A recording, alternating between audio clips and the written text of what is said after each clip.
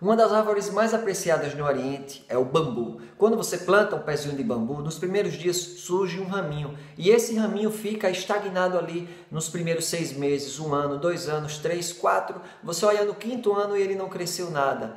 Você se engana. Onde ele cresceu foi em suas raízes. São cinco anos apenas crescendo para baixo. As raízes é o que vão dar, vai dar sustentação para essa planta. No quinto ano ele dá aquele disparo e cresce exuberante porque quando vem tempestades, quando vem ventanias, ele se dobra e não quebra, ele não sai, porque ele tem sustentação. Assim também é a nossa vida. Muitas vezes Deus está trabalhando em nós, nos leva para desertos, como todos os grandes reis são treinados no deserto. Jesus foi para o deserto. Deus está testando e nos preparando a nossa integridade, o nosso caráter, para que quando ele entregar aquilo que nós devemos receber dele, nós não nos percamos, não estraguemos a nossa vida por causa da bênção e do sucesso processo.